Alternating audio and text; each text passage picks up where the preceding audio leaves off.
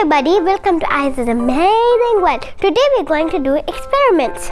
We need six straws tied with a rubber band, bowl mixture, and some fruit coloring, and also a bowl. And use some safety goggles. Ask your parents for help.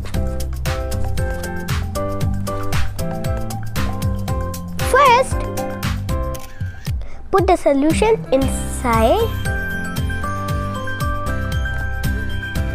Now, let's put some fruit coloring, just a little drop. Not too much. Then let's mix it.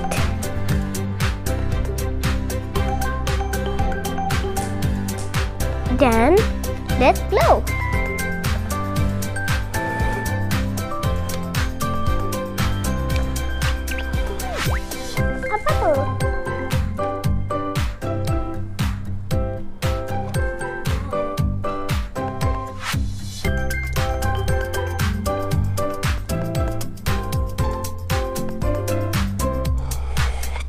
Isn't it fun?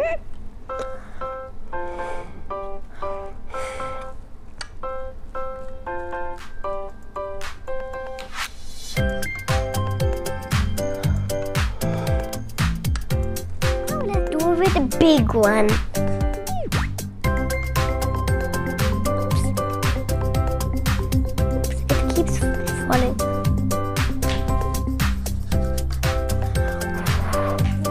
Big bubbles! Now, the next experiment, we need two syringe, a tube like this, some food coloring, and a glass of water. First, put the water inside the glass, then you put the food coloring. Just a little.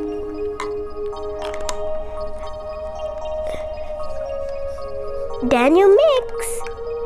Then you get it inside. Then you put it inside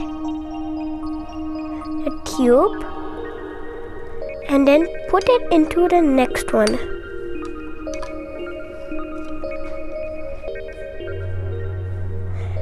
Then, when you press it, it will come to the next tube.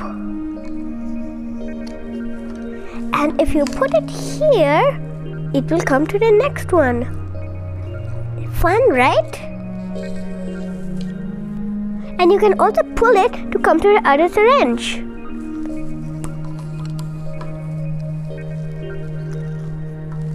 Is it fun?